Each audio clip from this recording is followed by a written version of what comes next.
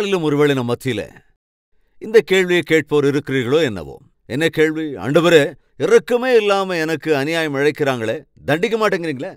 தயவு தாட்சியன்யமே இல்லாம எனக்கு எதிரா சதித்திட்டம் தீட்டுறாங்களே.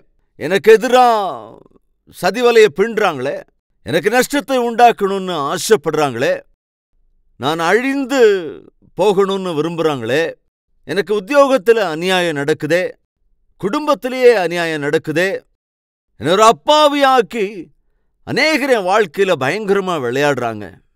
ஏழை அப்படிங்கிறதுக்காக கொஞ்சம் பணத்தோட அந்தஸ்தோட இருக்கிறவங்க என் மேல அநியாயமா அதிகாரம் செலுத்தி என்னுடைய எல்லாவற்றையும் அபகரிக்கிறாங்களே. என்னுடைய வாழ்க்கையில் எவ்வளவு அநியாயம் நடக்குது ஆனால் நீங்க மட்டும் மௌனமா இருக்கீங்களே? என்னுடைய வாழ்க்கை அதள பாதாளத்துக்குள்ள போயிட்டு இருக்கு நீங்க மௌனமா பார்த்துட்டு இருக்கீங்களேப்பா கஷ்டங்களுக்குள்ள நஷ்டங்களுக்குள்ள கண்ணீருக்குள்ள என் வாழ்க்கை மூழ்கி கொண்டு இருக்கிறது ஆனா நீங்க மௌனமா பார்த்துட்டு இருக்கீங்களா ஆண்டவரே. என்று யாராவது இந்த அந்த கேள்வியோடு இருக்கிறீர்களா? ஏன் ஆண்டவரே இவ்வளவு கஷ்டப்படுறேன் இவ்வளவு பாடுபடுறேன் என்னை கண்டுக்க மாட்டேங்கிறீங்களே. அல்லது இவ்வளவா என்னை பாடுபடுத்துகிற இவ்வளவு வேதனைக்கு என்னை உட்படுத்துகிற கஷ்டத்துக்கு ஆட்படுத்துகிற அவங்கள கண்டுக்க மாட்டேங்கிறீங்க? தேவன் கட்டாயம் கண்டுகொள்வார். எப்பவும் என் கூடயே சுத்திக்கிட்டு ஊழியக்காரங்க மாதிரியே இருந்துகிட்டு உதவி செய்யற மாதிரியெல்லாம் இருந்துகிட்டு அதுக்கப்புறம் எனக்கு பயங்கர அநியாயம் செஞ்சவர் ஒருத்தர். அப்ப வரைக்கும் என் கூடயே இருந்துட்டு. என்னை பத்தி பெருமையா பேசிக்கிட்டு எங்கிட்டையும் ரொம்ப நல்லா பேசிக்கிட்டு உதவியா ஒத்தாட்சியா இருக்கிற மாதிரியெல்லாம் இருந்துட்டு பின்னால எனக்கு பயங்கர அநியாயம் பண்ணிட்டாரு. ரொம்ப பெரிய துரோகம் பண்ணார். ரொம்ப பாடுபடுத்திட்டார். அப்படி அவர் செய்தபோது நான் ஒருவேளை அவர் செஞ்ச அநியாயங்களெல்லாம் வெளியே சொல்லியிருக்கலாம். அவருக்கு இருந்த அந்த கெட்ட புத்தியை வெளிப்படுத்தியிருக்கலாம். ஆனால் ஆண்டவரிடத்திலே நான் ஜெபித்தேன். ஆண்டவரே இந்த மனிதனை என்னை நம்ப வைத்து துரோகம் அழைத்து விட்டாரே? ஆவிக்குரியவராய் இருந்துவிட்டு இந்த அநியாயத்தை செஞ்சுட்டாரே? செய்த உதவிகளெல்லாம் மறைந்து போய் இந்த உதவி செய்த கரங்களே உடைக்கிறாரு? எனக்கு ரொம்ப வேதனையா இருக்கு ரொம்ப பாரமா இருக்கு ஆண்டவரே. இப்படி அநியாயம் பண்ணவங்கள வெளியரங்கப்படுத்தலனா? இன்னும் அநேகருக்கு இதே போல அநியாயம் அழைப்பாரே? இப்படின்னு எத்தனையோ பேரை ஏமாத்திடுவாரு அதனால கட்டாயம் இவரை பத்தி வெளியே சொல்லிடணும் என்று என்னுடைய மனசு சொல்லிக்கொண்டே இருந்தபோது நான் முழங்கால் படிட்டு போய் கேட்டேன் ஆண்டவரே நான் என்ன செய்யணும்? ரொம்ப பாரமா இருக்கு. இன்றும் யாராவது இருக்கீங்களா? நான் நன்மை செய்தால் எனக்கு தீமை தான் செய்றாங்க. ஒரு பாட்டு கூட நான் எழுதியிருக்கிறேன். செய்த நன்மைகளே தீமையாய் மாற காண்பித்த அன்பே கசப்பென மாற இனி இந்த வார்த்தைகளை எழுதினேன் அல்லவா? இந்த வார்த்தைகள் எழுதியது அவரை நினைத்துத்தான்.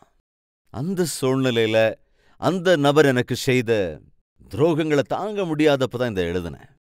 நன்மை செஞ்சதுக்கு பதிலா தீமை செஞ்சுட்டாரே. அன்பை காட்டியதற்கு எனக்கு கசப்பான அனுபவங்கள் தானே கிடைச்சது. என்று ஆண்டவர் சன்னதியில் நான் முழங்கால் படியிட்டு ஜெபித்தேன். அதை விட நான் வேற என்ன செய்யறது? அப்படி ஜெபம் பண்ணபோது ஆண்டவர் பேசினார். என்னென்ன தெரியுமா? உனக்கு கொடுக்கப்பட்ட ஊழியத்தை செய்ய அவரை பற்றியெல்லாம் கவலைப்படாத. உன்னுடைய ஊழியத்தை நீ செய். அவருடைய காரியத்தை நான் பார்த்துக் கொள்கிறேன். உனக்கு அநியாயம் பண்ணவங்களை குறிச்சே நினச்சிக்கிட்டு இருக்காத. உனக்கு துரோகம் பண்ணவங்களை கொடுத்தே நினைச்சுக்கிட்டு நான் உனக்கு கொடுத்துருக்கிற விலையேற பெற்ற காரியத்தை நேரத்தை ஏன் வீணாக்கணும்? அந்த மனிதரை நான் பார்த்துக் கொள்கிறேன். என்னுடைய ஊழியத்தை நீ பாரு என்று தேவனனோடு பேசினார். என் மனசுல இருந்த பாரம் எல்லாம் இறங்கிடுச்சு. இந்த வேளையிலும் யாராவது இருக்கீங்களா? பிற நபர்களை குறித்தோ குறிப்பிட்ட நண்பரை குறித்தோ குறிப்பிட்ட உறவினரை குறித்தோ அல்லது குறிப்பிட்ட ஊழியக்காரரை குறித்தோ உன்னுடைய இருதயத்திலே அவர்கள் செய்த துரோகத்தை குறித்தோ அதனால் உண்டான காயங்களை குறித்தோ அதை தாங்க முடியாமல் தவித்துக் கொண்டிருக்கிறாயா? என்ன செய்வது? ஆண்டவர்கிட்ட தான் போகணும். பதிலே கிடைக்காத கேள்விகள் உண்டா? கண்ணு கெட்டின தூரம் வரைக்கும் சமாதானமே கிடைக்காது அப்படிங்கிற ஒரு நிலை இருக்கா? யாருகிட்டயுமே சொல்ல முடியாத வேதனை தரக்கூடிய விஷயங்கள் இருக்கா? அப்ப என்ன செய்யணும்? இவைகளெல்லாவற்றையும் கேட்கக்கூடிய கேட்டு பதில் தரக்கூடிய உன் பிரச்சனைகளுக்கு தீர்வை தரக்கூடிய அண்டவராக இயேசு கிறிஸ்து இருக்கிறார். அவர்கிட்ட தான் போகணும்.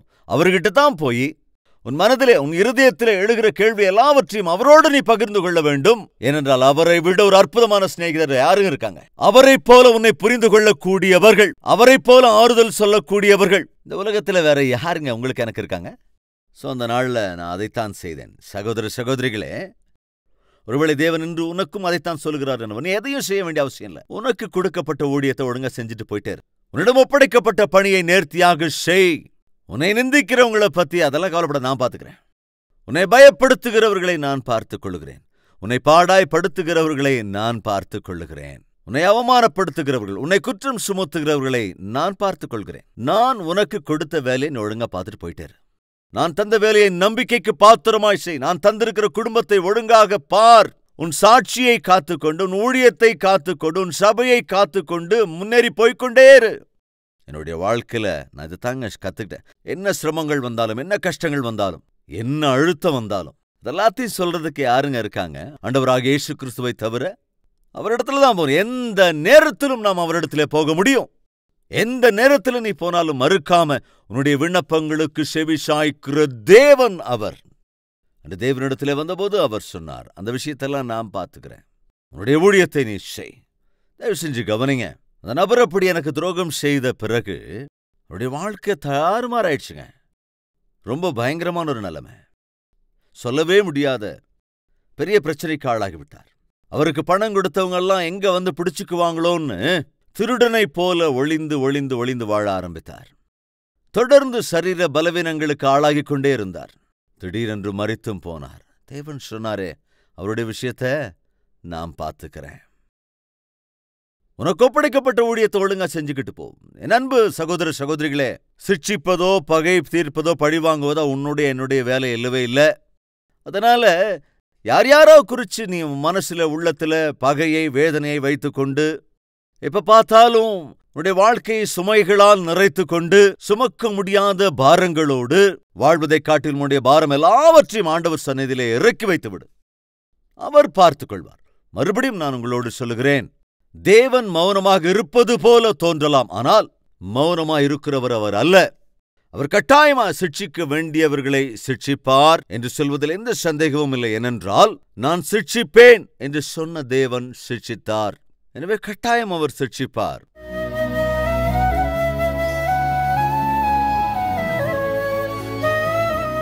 பிதாவே நாங்கள் உம்முடைய சிக்ஷைக்கு எங்களை ஒப்புக் கொடுப்போம் என்றால் நல்ல நாட்களை கட்டாயம் நாங்கள் பார்ப்போம். அதாவது சிட்சிக்காமல் தப்பித்துக் கொள்வதற்கான வழியை நீ காண்பிக்கிற போது மனஸ்தாபப்பட்டு பாவத்தை அறிக்கை செய்துமை பற்றிக் கொள்ளும் போது செப்பனியா சொல்வதைப் போல நாங்கள் கருணைக்கு ஆளாவோம் காப்பாற்றப்படுவோம்.